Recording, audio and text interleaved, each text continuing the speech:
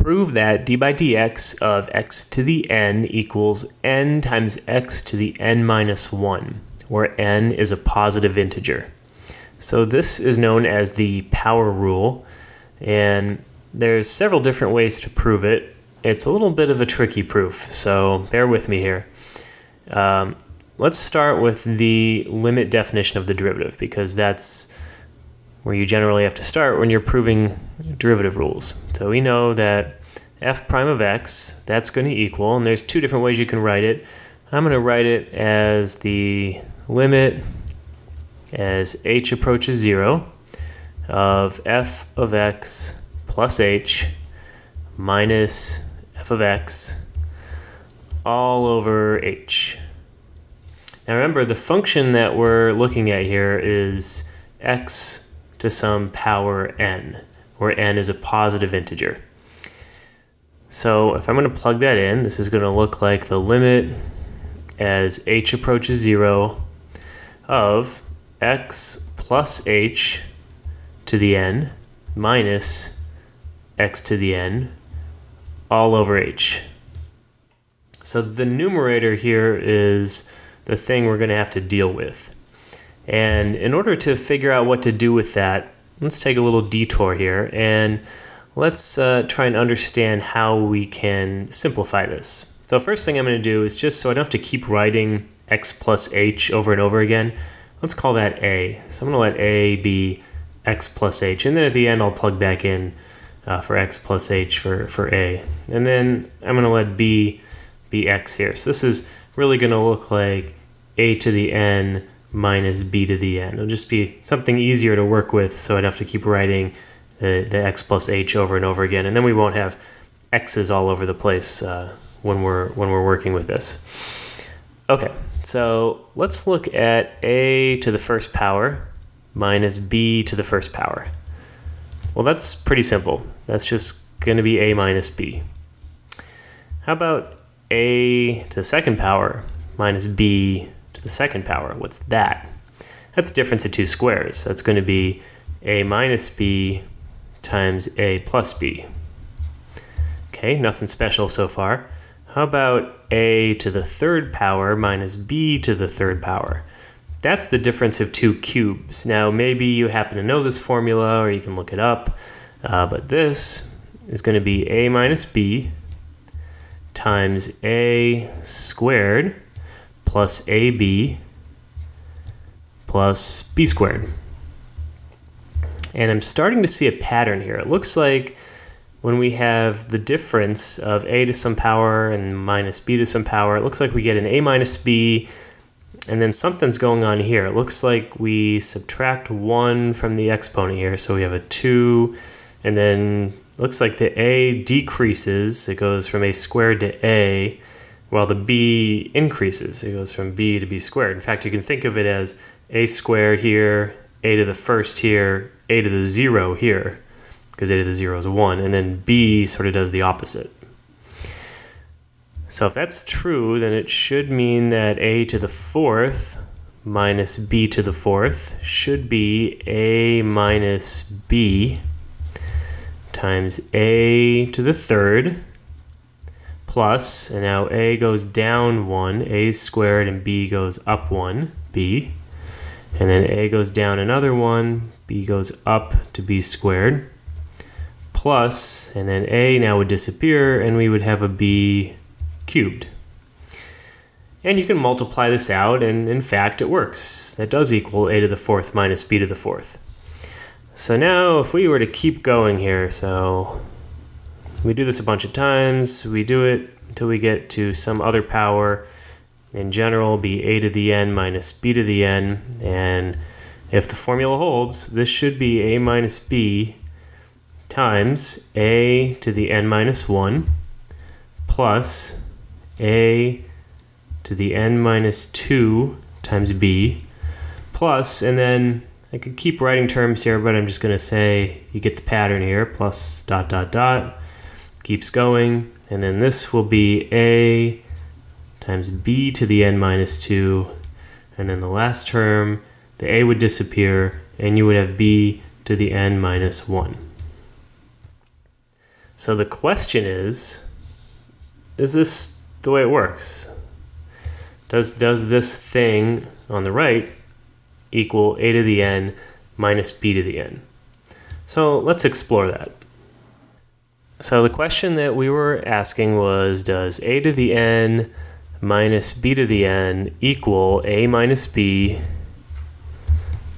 times a to the n minus 1 plus a to the n minus 2 times b plus dot dot dot plus a times b to the n minus 2 plus b to the n minus 1. And we want to know, is that true? Well, let's multiply out this thing over here on the right. So if I look at a minus b times a to the n minus 1 plus a to the n minus 2 times b plus dot dot dot plus a times b to the n minus 2 plus b to the n minus 1, what does that equal? Well, I can multiply everything by the a, just sort of distributing here, and minus 2 times b plus dot dot dot plus, and I have a times b to the n minus 2 plus b to the n minus 1 minus, and then I have the b I can multiply through. So minus b times the same stuff. a to the n minus 1 plus a to the n minus 2 times b plus dot dot dot plus a times b to the n minus 2 plus b to the n minus 1. So what's going to happen here? I'm going to multiply through by a all these terms. I'm going to multiply through by b all these terms, and I'm subtracting these. And I think some stuff should cancel. So let's try it. So this is going to equal, so imagine multiplying the a through. a times a to the n minus 1, that's going to be a to the nth power. And I'll put this in parentheses here.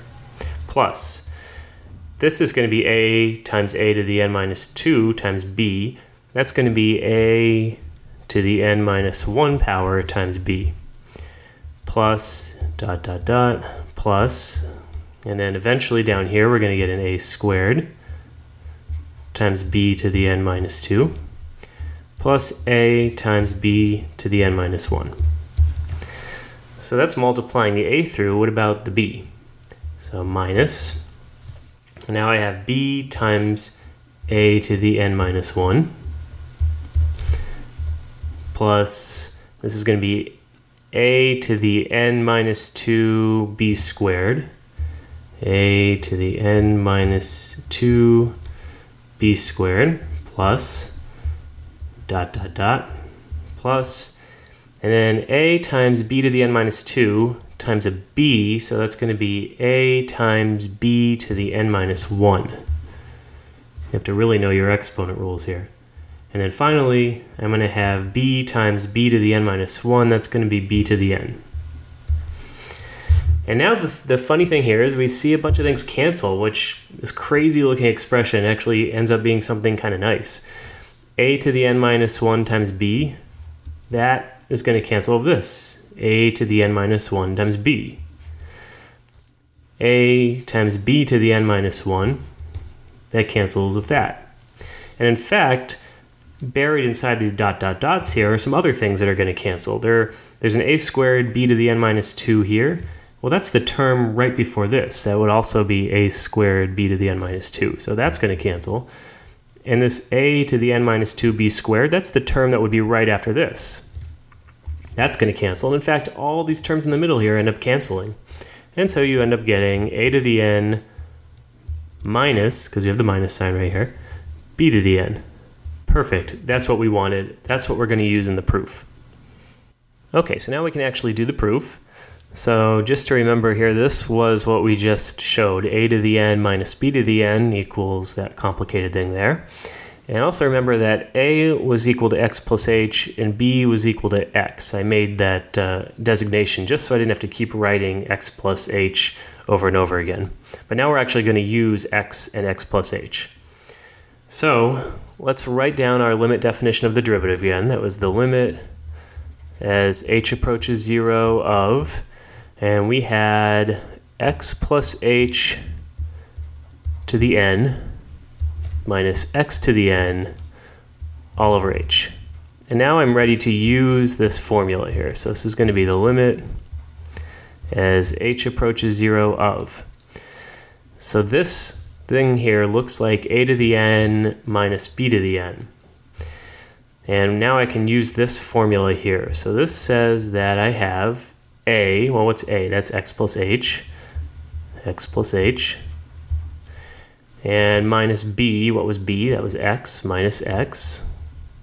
Okay, and all that is going to be multiplied by this thing right here. So a was x plus h, so that's x plus h to the n minus 1 plus, and that's going to be x plus h to the n minus 2 times x plus dot dot dot plus uh, x plus h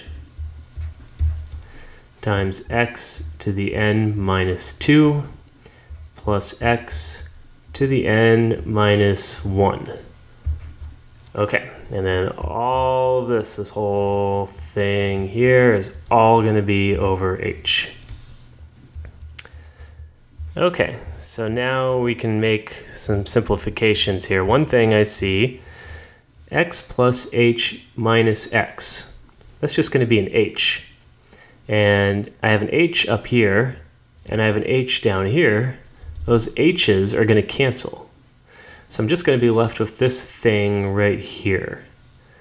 So let's write that out. So now I'm just going to have x plus h to the n minus 1 plus x plus h to the n minus 2 times x plus, and then all these terms in the middle here, plus x plus h times x to the n minus 2 plus x to the n minus 1. And now I'm ready to actually take the limit. I can let h go to 0 here, and if I do that, this is just going to be x to the n minus 1 plus, and this is going to be x to the n minus 2 times x plus, and all the terms in the middle. This is going to be x times x to the n minus 2 plus x to the n minus 1. Now if you think about it, these terms in the middle here are also going to be x to the n minus 1. I'm going to have x to the n minus 2 times x, that's the same thing as x to the n minus 1. Same thing here, x times x to the n minus 2, that's the same thing as x to the n minus 1. And if you think about it, the way the powers work out, everything in the middle is also going to be x to the n minus 1. So really what I have here is just a bunch of x to the n minus 1s. Everything is going to be x to the n minus 1, the way it works out. So dot dot dot plus x to the n minus 1 plus x to the n minus 1. How many x to the n minus 1s do I have? Well, turns out I have n of them. How do I know I have n of them? Well, count up the terms here. Think about the formula that I have to begin with. Look, for instance, at the powers of, I don't know, we can say the a. Here's, we can think of this as n minus 1. Look at the 1 right here. That's one term two terms. And then we're counting them all up here. And eventually we get back down to zero for the A. But remember, this really could be like a to the n minus n, a to the n minus n minus 1. And so you see that we're going to have 1, 2, 3, 4, dot, dot, dot, n minus 1, n terms. That's a total of n terms in this expression up here. So that means that we have n of these things, so that's the same thing as n times x to the n minus 1. And that's what we were trying to prove. So I know this was kind of ridiculous. Uh, hopefully you won't have to go through this more than once, but that's how you prove the power rule.